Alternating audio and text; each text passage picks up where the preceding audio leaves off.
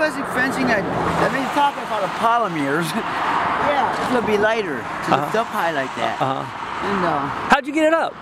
my golf cart, I set Oh, my, so you... I put my golf cart behind it with a ladder and I pushed it up until I got so far and then I put a strap on him. I pulled him out here. And you know what, my golf cart sat here all night. I didn't know how I was gonna secure it. But I finally figured it out. And uh, you know, I, did, I went at it kind of aimlessly. LED spotlights are in his eyeballs. They light up green at night. It's pretty cool.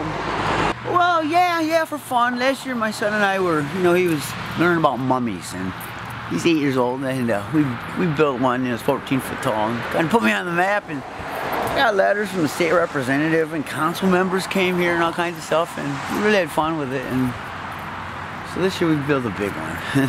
I I built a big one, and